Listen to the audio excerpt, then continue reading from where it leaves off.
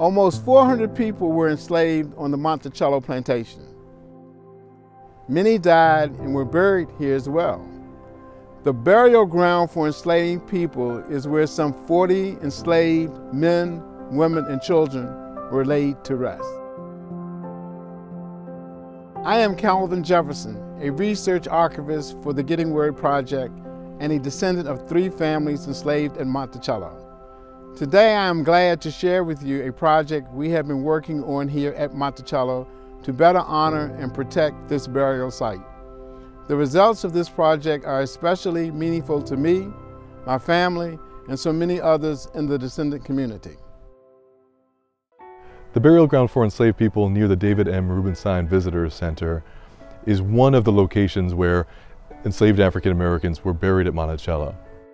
We believe this land continued as a burial ground into the 20th century, but later, by the maybe the 1950s or 60s, it was largely abandoned. However, knowledge of this site survived in the local African American community, and this knowledge actually saved it in the 1970s when the Thomas Jefferson Foundation constructed the parking lots that currently surround the burial ground. We really had a lot of comments from visitors how the site looked neglected. It was hard to see the site, hard to find it, hard to access it. And so we have recently worked to redesign the site the work to redesign the burial ground for enslaved people and to make improvements to the area surrounding the burial ground was a years-long process. A group of descendants and historians and other stakeholders here at the Thomas Jefferson Foundation came together in collaboration to think ways through to improve this site. I'm descendant from at least two enslaved families here at Monticello. I found this place to be one of complete peace and solace. And I have come here when I have been at my lowest points.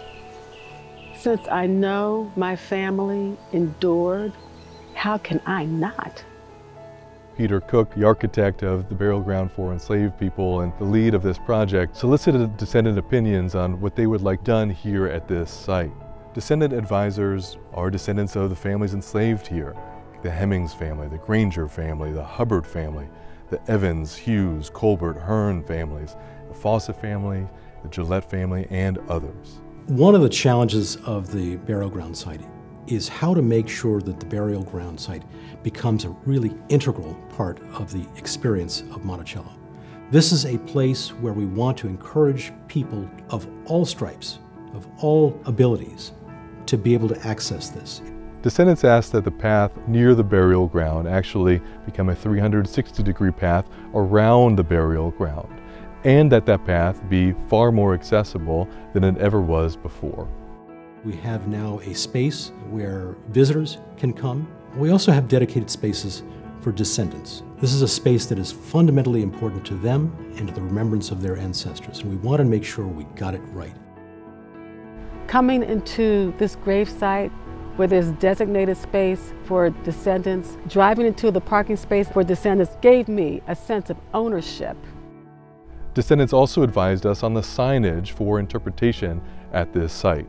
The new signage will happily include a painting by Jabari C. Jefferson, a descendant of the Granger, Hemings, and Evans families enslaved here at Monticello. The moment that I wanted to capture was this idea of a moment of silence. In all ceremonial aspects, there's always this time period, and it's very human. I had to have a visual tool to be able to encapsulate that. Color scheme, really dramatic shadowing, just a little bit of romance in skies, dirt, mixed media. All of this makes a recipe for a dish that is sacredness, mourningness, respect, and just the overall, you know, just honor.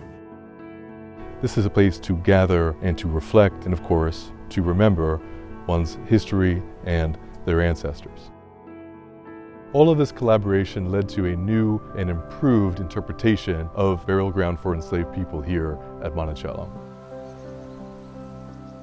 I, as a descendant, I welcome others to come and celebrate my family and my family as representatives of black Americans and representatives of all Americans. As legendary civil rights activist Julian Bond remarked, at this very site in 2001. Many people who are buried in this ground were buried as property. Today, we remember them as people, The legacy of those enslaved here lives on, and together we continue to celebrate their lives and pay our respects at the sacred burial ground site at Monticello.